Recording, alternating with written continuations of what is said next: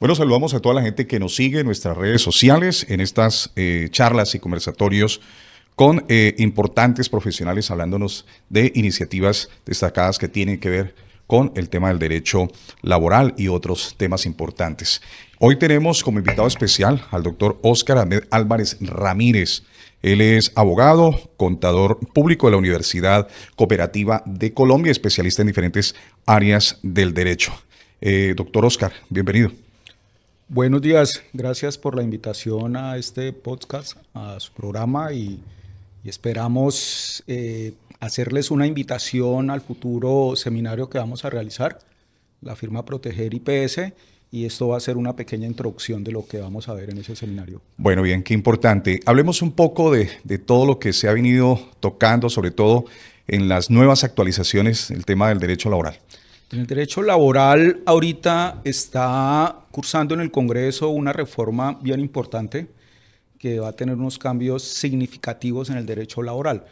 Eh, pero pues está en curso, ¿no? no sabemos si va a aprobarse en su Está en estudio en este momento. Está en estudio, efectivamente, está en estudio en el Congreso, pero, pero sí hay unas leyes que, que, que se han aprobado, por ejemplo, la 2365 del 2024, ¿sí? que es, es, es nueva, eh, también está la 2191 del 2022 y la 2101 del 2021 que nos habla de la jornada laboral. Entonces, esas son como las más, si se puede decir, recientes que están todavía en aplicación, pero eh, como le digo, con una macro, con una importante que está que está cursando en el Congreso de la República. Bueno, ok. Hablemos un poco eh, de qué manera esta reforma viene ajustando también eh, algunos avances. También tenemos, por ejemplo, el tema de la tecnología, que sin duda alguna pues, eh, va a tener una amplia relevancia, o ya la está teniendo por demás. Hablemos de qué manera va a impactar esta reforma, sobre todo en pro de los empleados del país. Sí, eh, la verdad es que después de o durante la reforma se, se, manejó mucho el teletrabajo y el trabajo remoto, el trabajo en casa también, eh, en los cuales eh, mm, se probó que efectivamente no era necesario que los empleados fueran a una empresa a hacer una presencia física para desarrollar su trabajo, sino que también lo podían hacer desde otros sitios como su casa, otras oficinas, incluso otros países, y, la verdad es que, es que ha funcionado bien y, ya pues la ley también lo ha reglamentado y con esta reforma se piensa, si se puede decir, eh, darle una mejor estructura y una mejor forma. Eh, eh, ¿Qué modificaciones se han implementado en todo lo que tiene que ver con los derechos de los trabajadores, por ejemplo, temporales? Los temporales, pues mira, la verdad es que en el tema de, esos trabajadores temporales, ¿sí? Eh, hay una norma que es exclusiva de ellos, ¿no? El artículo 77 de la Ley 50 de 1990 estableció eh, cuándo se podía contratar empleados eh, de servicios temporales dentro de las empresas.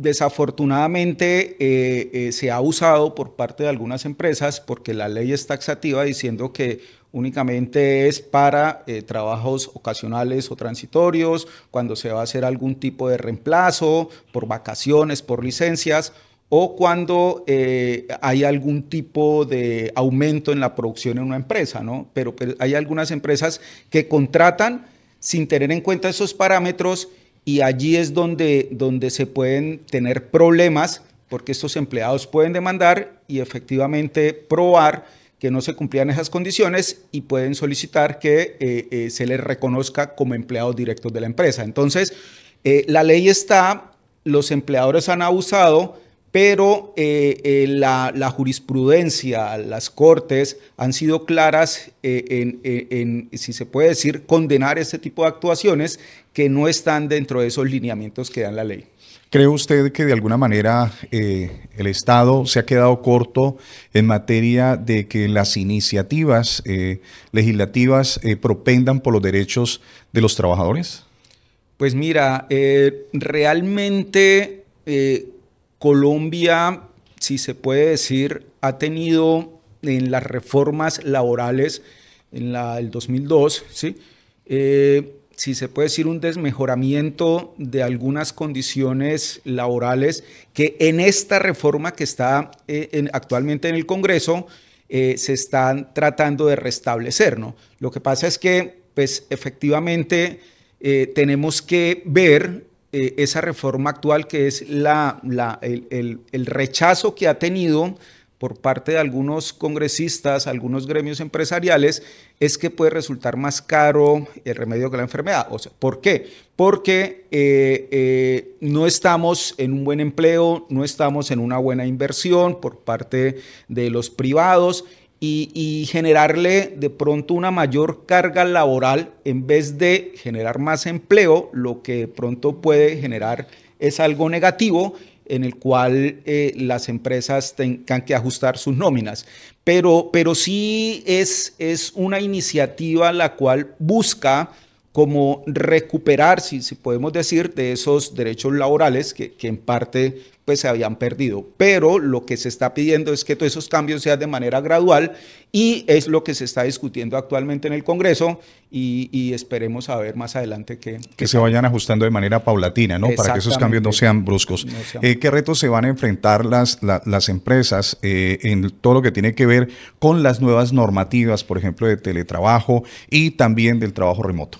Sí, eh, como le decía, ¿no? Eh, eh, esto del teletrabajo y el trabajo remoto y el trabajo en casa, pues realmente ya están, ya están reglamentados y lo que, lo que se espera es que hacia futuro tengan una mayor, un mayor auge, una mayor contratación por parte de empleados a través de estas figuras, toda vez que, como le digo, después de la pandemia los empresarios y los mismos empleados se dieron cuenta que no obligatoriamente el prestar un servicio tenía que ser de manera física en, un espacio, en una empresa, en un inmueble, sino que pues pueden prestar su servicio así. Entonces esto es una gran propuesta y, se puede decir novedad y oportunidad de, trabajo que ya se está, ya, ya se está eh, o ya se implementó, ya se está realizando en muchas empresas y la verdad es que ha sido, ha sido mm, de, agrado para todas las partes. Eh, teniendo en cuenta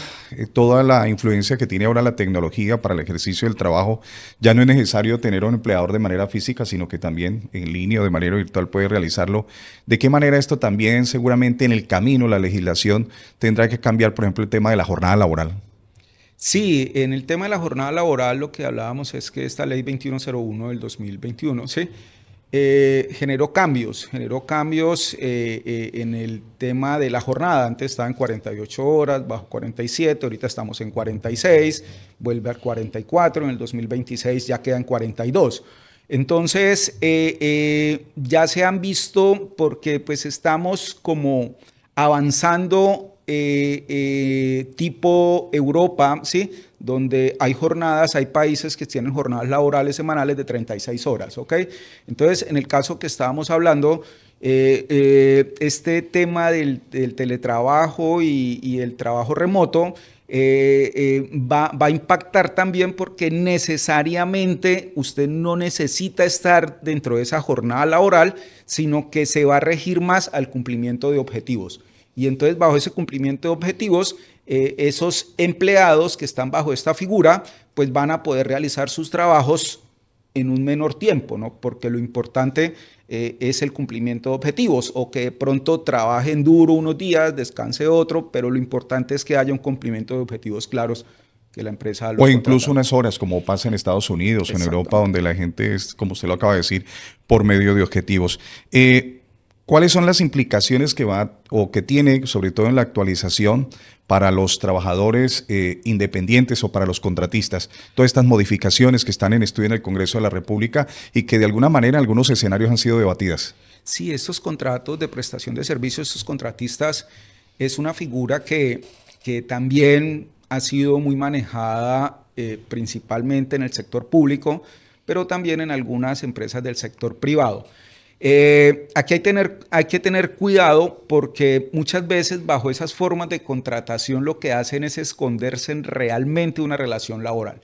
Y para una empresa realmente eso representa un riesgo, un riesgo de que este empleado mm, posteriormente demande y, solicite a un juez el reconocimiento del contrato realidad oculto dentro de un contrato de prestación de servicios. Y realmente el Código Sustantivo del Trabajo, en el artículo 23, claramente dice allí que cuáles son los elementos esenciales del contrato de trabajo, ¿no? que es la prestación personal del servicio, la remuneración y la subordinación. Si uno logra probar esto dentro de un proceso, pues lo más probable es que vaya a ganar un proceso y eso muchas veces para las empresas es muy oneroso por eh, no contratar el empleado de manera directa como empleado, sino a través de ese disfraz de contratista que después le puede generar un daño muy, muy grande a una empresa a través de una condena. Hagámosle una recomendación a, las, em, a los empresarios, a los representantes de las diferentes compañías en los distintos sectores eh, sobre las implicaciones que podrían tener, obviamente, de no acatar estas nuevas actualizaciones o modificaciones a la ley del trabajo. Sí, mire, eh, eh, lo que yo siempre le digo a, los empleadores, a las empresas, es tengan mucho cuidado en la forma como contratan sus empleados, ¿ok? Y segundo, pues respeten la normatividad legal, el horario, las horas extras, ¿sí? Eh, eh, lo que les hablaba ahorita, la forma de contratación, muchas veces por ahorrarse unos pesos, por no pagarle unas prestaciones, una seguridad social, después resultan condenados y se lo hacen retractivo con sanciones. Entonces realmente eh, si uno quiere dormir tranquilo, un empresario, ¿sí? Un gerente que tiene responsabilidad también en este tipo de contratación, pues lo mejor es cumplir la normatividad. La normatividad hay que cumplirla y, ahí pues no tomar riesgos innecesarios. Bueno, eh, ¿cuáles son los principales cambios, por ejemplo, en la reforma eh, que se tramita en el Congreso, especialmente para indemnizaciones por terminación de contratos? Sí, allí, como le decía, ¿no? Eh, en esta eh, reforma tributaria, reforma tributaria, ¿no? Reforma laboral, lo que pasa es que también soy tributarista, ¿no? Tranquilo. entonces, en esta reforma laboral, eh, principalmente quiere restablecer algunos derechos y dentro de esos derechos que quiere restablecer, está en el tema de las indemnizaciones. Las indemnizaciones cambiaron eh, eh, dependiendo del salario que tenía el empleado, si era menos de 10 salarios mínimos, entonces se le paga una indemnización de 30 días por el primer año y 20 por los subsiguientes. Lo que se busca es retraer o lo que trae la propuesta es retraer lo que anteriormente estaba, ¿sí? que era que por el primer mes no se pague 30 como está actualmente, sino 45 días. Y por los subsiguientes ya de acuerdo a una tabla que puede ser 15, 20 o 40 días, eh, eh, obviamente que las indemnizaciones por despido injustificado, pues se, se vuelven más caras para las empresas y de esa forma justifican que hay una mayor estabilidad para estos empleados que tienen un tiempo laborando en la empresa. Eh, al, a la empresa tener que pensarlo, si lo despiden sin justa causa, tener que pagar una indemnización más onerosa que obviamente perjudica a la empresa. Bueno, sin duda alguna que este es un tema de bastante extenso, que por eso es importante que asistamos a esa importante conferencia que usted va a dictar en todo lo que tiene que ver con la actualización legal del derecho laboral. Invitemos a la gente, a los empresarios, para que de alguna manera pues se informen, se actualicen en torno a este tema y eviten obviamente esas posibles sanciones. Sí, la verdad es que los invitamos cordialmente, la firma Proteger IPS eh, ha hecho un esfuerzo grande por mm, capacitar no solo a sus, a sus clientes, sino también a, los profesionales de aquí del, del, Meta y Llanos Orientales que quieran asistir este 25 de septiembre de 2 a 6 de la tarde en el auditorio de Cofren. Entonces los invitamos a que, a que conozcamos de estos temas laborales, a que pues también tendremos una sección de preguntas y, podemos interactuar y, que conozcan y obviamente evitar tomar riesgos innecesarios que de pronto les pueden salir más caros a la empresa a través de condenas en demandas. Bueno, amigos empresarios, entonces están invitadísimos para importante charla con el doctor Oscar Ahmed Álvarez Ramírez y ya sabe, el desconocimiento de la norma no le exime su derecho a cumplirla. Evitemos sanciones. Ok, muchas gracias por la invitación y nos vemos entonces en el seminario. Gracias.